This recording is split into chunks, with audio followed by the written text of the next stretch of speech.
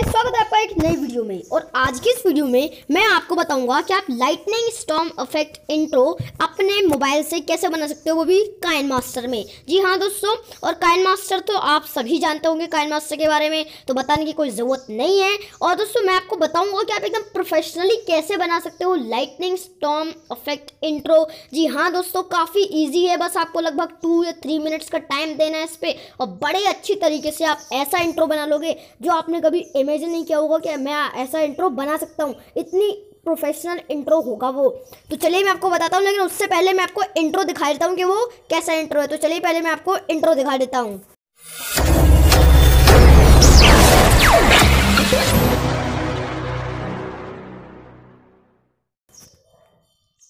दोस्तों आपने अब इंट्रो देख लिया है तो अब आपको क्या करना है? आपको जो है लिंक दिए गए डिस्क्रिप्शन में काइन मास्टर की। अगर आपके पास काइन मास्टर नहीं है तो जाके जल, जल्दी से डाउनलोड कर लो और अगर है तो जल्दी से ओपन कर लो।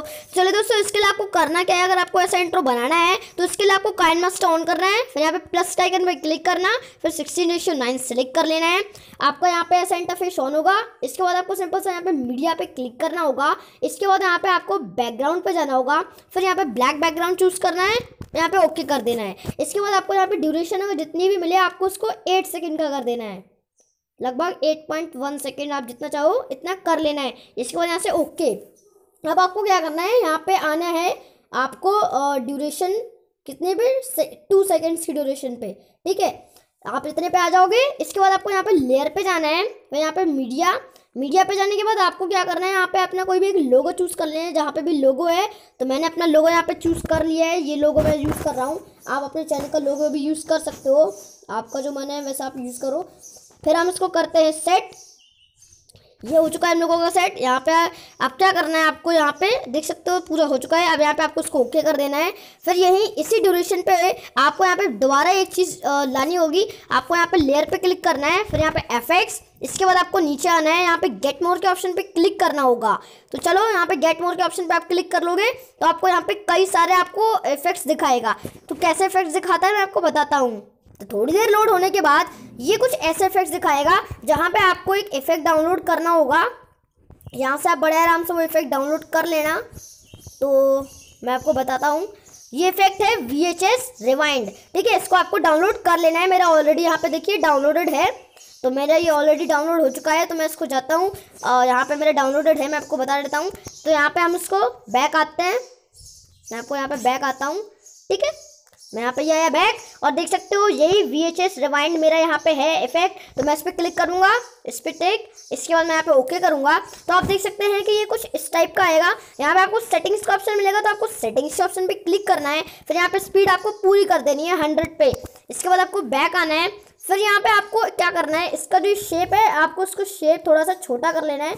और आप थोड़ा सा यहाँ पर देख लीजिए लोगों के अकॉर्डिंग तो ये है इतना लोगो लोगों के उतना ही रखना है, आपको ज़्यादा बड़ा नहीं रखना है। तो जितना लोगो है हम उतने एरिया में ही रखते हैं इसको। इसके बाद यहाँ पे ओके कर देते हैं। अब आपको एक और चीज़ करनी है कि आप जो इफ़ेक्ट है इस पर क्लिक करना, फिर इसको लगभग आपको फोर सेकंड तक ही रखना है। मतलब इसका जो ड्यूरेशन होगा वो टू सेकेंड्स का होगा। टू सेकेंड्स का, जिससे आपका फोर सेकेंड यहाँ पे पूरी फ़ाइल के फोर सेकेंड तक ही रहेगा। बस आपको इतना कर लेना है। इसके बाद आपको क्या करना है, आपको फ़ाइल के एकदम स्टार्टिंग पोजीशन पे आना है। फिर आपको मैंने एक फ़ोटोज़ दी है लिंक है उसकी डिस्क्रिप्शन में जाके वहाँ से डाउनलोड कर लीजिएगा। आपको यहाँ पे लेयर पे क्लिक करना है। इसके बाद आपको मीडिया फिर मैंने जो आपको अभी बताया है ना आपको फुटेज वो जाके वहाँ से डाउनलोड कर लेना। तो ये रहा मेरा फुटेज इसके बाद मैं क्या करूँगा, इसको फुल स्क्रीन का करता हूँ। फिर आपको नीचे आना है। नीचे आने के बाद यहाँ पे आपको ऑप्शन मिलेगा ब्लेंडिंग का। तो आपको ब्लेंडिंग के ऑप्शन पे क्लिक करना है। फिर नीचे आइए, यहाँ पे आपको स्क्रीन का ऑप्शन मिल जाएगा। तो आपको स्क्रीन के ऑप्शन पे क्लिक कर देना है। फिर यहाँ से आपको करना है ओके। अब आप देखना कि आपको ये कैसे शो होगा। तो काफ़ी हद तक ये अपना बन चुका है। तो अब तो एक बार प्ले करके दिखा देता हूँ आपको।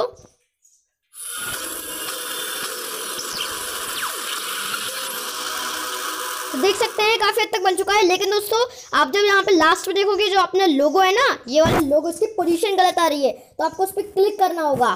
ठीक है, ये जो लोगो है, इस पर आपको क्लिक करना है, अपना जो लोगो है, फिर इसको इधर पे सेट करना होगा अच्छी तरह से, ठीक है? मैंने इसको किया सेट इसके बाद जो अपना एफेक्ट है, उसको भी अच्छी तरह से यहीं पे सेट कर लेना होगा इफ़ेक्ट को। लोगों के साथ ही रहेगा, ध्यान रखिएगा, जो ये लोगो है ना, उसके साथ ही रहेगा ये अपना इफ़ेक्ट इसके बाद आपको ओके करना है ओके करने के बाद आपको इतना करने के बाद अब आप एक और बार इसको प्ले करना मैं आपको दिखाता हूँ प्ले करने के बाद कैसा यहाँ पे होगा। अब आपको देख सकते हो इतना होने के बाद यहाँ पे लास्ट में जब ये जो आ, इतना लाइन आया है जो अपना लोगों के नीचे इसमें आपको अपने चैनल का नेम लिखना होगा। तो मैं अपने चैनल का नेम यहाँ पे लिख दूँगा। तो चलिए मैं लिख देता हूँ यहाँ पे लेयर पे जाऊँगा। यहाँ पे लगभग फाइव सेकेंड्स पे जाना है या फिर फोर पॉइंट नाइन ऐसा ही कुछ। चलिए मैं यहाँ पे फोर पॉइंट नाइन सेकेंड्स पे आता हूँ। फाइव पे आ जाइए लगभग। लेयर पे जाइए। टेक्स्ट अपने चैनल का नेम टाइप कर दीजिए। तो मैं कर देता हूँ। जल्दी से। मेरे चैनल का टाइप हो गया। ओके करता हूँ। उसके बाद इसको थोड़ा सा साइज़ छोटा करके यहाँ पे लगाता हूँ। फिर यहाँ पे आप आप चाहो तो इसका फॉन्ट भी चेंज कर सकते हो तो मैं इसका फॉन्ट चेंज कर दे रहा हूँ। यहाँ पे फॉन्ट पे जाऊँगा। इसके बाद यहाँ पे जो मेरा फॉन्ट है, वो मनपसंद फॉन्ट कोई भी ले लूँगा। तो मैं फ़िलहाल के लिए ये वाला फॉन्ट ले ले रहा हूँ। आप कोई भी फॉन्ट ले सकते हो, जो आपका मन है, आप वही फॉन्ट लेना। मैंने ये इसको बड़ा किया एडजस्ट कर लिया। इसके बाद आपको बस लगभग बन चुका है। आप इसको एक बार प्ले करके देख लो।